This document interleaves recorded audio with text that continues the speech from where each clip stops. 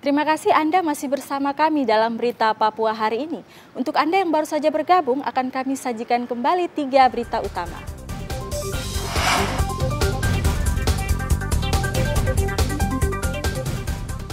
Kapal pengangkut kayu tenggelam, 11 anak buah kapal hilang.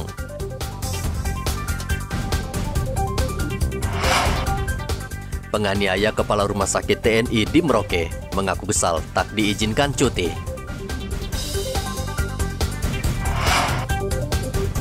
Puluhan mahasiswa di Merauke berunjuk rasa menolak rancangan Kitab Undang-Undang Hukum Pidana.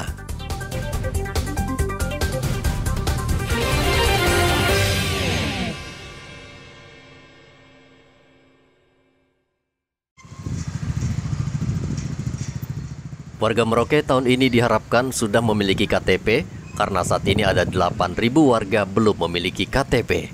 Menurut catatan Dinas Kependudukan Catatan Sipil Merauke, sebagian besar warga yang belum memiliki KTP menetap di kawasan terpencil dan ini menjadi salah satu kesulitan di Capil untuk menjangkau dan melayani warga. KTP untuk Kabupaten Merauke itu 158.200 158.390 hmm. itu yang wajib KTP. Hmm. Kemudian dari wajib KTP itu yang sudah perekaman dan sudah cetak itu sekitar 139.348 keping KTP. Sisanya itu sekitar 8.788 yang belum memiliki KTP dan kami berharap di semester 2 tahun 2022 ini kami bisa meningkatkan itu minimal masuk ke angka uh, apa namanya sisa dari 8000 itu kita bisa mencapai setengah dari itu dan semester berikut kita bisa mencapai yang mendekati 100 persen. Ibu itu sebagian besar mereka domisilinya di mana? Di kota apa? Kalau di kota ini sebagian besar itu sudah memiliki dokumen. Hmm. Kita kebanyakan turun ke daerah-daerah, ke kampung-kampung, distrik-distrik yang jauh. Oh. Seperti yang jauh dari pelayanan tempat pelayanan Justina meminta warga agar segera mengurus KTP di kecamatan dan Disduk Capil. Dukcapil Merauke memberikan banyak kemudahan bagi warga Merauke untuk mengurus dokumen kependudukan seperti KTP maupun kartu keluarga. Muhammad Ridwan melaporkan dari Merauke, Papua.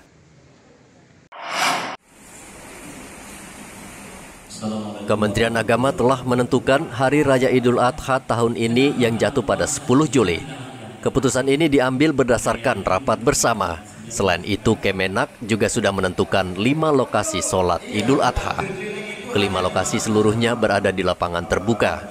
Terkait takbiran, Kemenak mengizinkan tetap dilaksanakan, namun dengan mengutamakan protokol kesehatan dan keamanan bersama. Sama-sama memberikan kepastian bahwa tanggal 10 Juli itu adalah pelaksanaan uh, Idul Adha sehingga Lebaran jatuh pada hari Ahad tanggal 10 Juli. Sebetulnya banyak masjid yang sudah menyatakan untuk melaksanakan di tanggal 10, tapi yang dikoordinir oleh BHBI pertama adalah Masjid Raya, kemudian lapangan reklamasi, kemudian langgang olahraga, lapangan apel wali kota, kemudian yang satu karena lima titik gedung keuangan tidak tidak tidak jadi itu olahraga di mana iya lima, jadi lima titik untuk pelaksanaan takbiran, takbir sendiri takbiran, Pak bisa dijelaskan juga. Ini kan masih masa pandemi juga gitu. Ya. ya. Saat ini kan berdasarkan apa yang disampaikan oleh Pak Presiden di tempat-tempat terbuka boleh tidak pakai masker. Tetapi tetap jaga protokol kesehatan.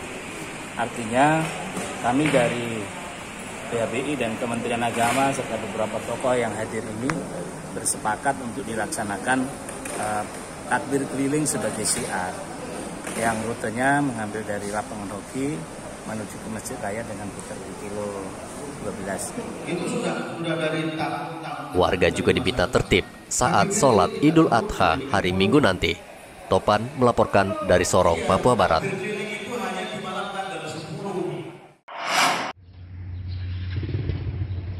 Kabupaten Mimika mendapatkan pasokan obat anti malaria sebanyak 400 box. Kepala Dinas Kesehatan Mimika, Reynold Ubra mengatakan obat malaria tersebut telah disuplai ke sejumlah rumah sakit dan puskesmas. Ya, pada minggu lalu kami terima 400 box dan kami distribusi ke fasilitas kesehatan kayak di rumah sakit mitra masyarakat, juga RSUD Mimika dan juga untuk puskesmas. Uh, tentu saja dengan stok yang terbatas kami membuat kriteria. Pertama di HP itu kita kasih itu difokuskan untuk anak-anak. Yang kedua itu betul-betul untuk uh, ibu hamil yang terdiagnosa malaria. Jadi kita membuat kriteria-kriteria supaya penggunaan obat DHP di masa krisis ini itu bisa benar-benar efektif. Semoga minggu kedua bulan Juli berarti minggu depan kita sudah bisa mendapat stok obat malaria biru, obat DHP itu sudah bisa kita terima dari Dinas Kesehatan Provinsi. Berapa banyak pengajuan dari Kabupaten Mimika ke Provinsi? Kalau kita rata-rata setiap bulan itu 12 ribu, 12 sampai 15 ribu. Nah mudah-mudahan box ya? box jadi sebenarnya hari ini meningkatnya kasus malaria pertama adalah memang karena ketidakpatuhan masyarakat minum obat. Yang kedua kita sekarang ada di masuk ke musim penghujan, di mana kalau genangan air banyak dan jentik nyamuk sebenarnya jumantik itu juru pemantau jentik itu bisa dari dalam rumah sendiri gitu. Nah, tapi ada second line yaitu obat kina. Dua pekan lalu Kabupaten Mimika sempat kehabisan stok obat malaria. Kadinkes meminta warga menerapkan pola hidup sehat dan bersih sehingga terhindar dari penyakit. Dari Mimika, Papua, Igobat Momolin melaporkan.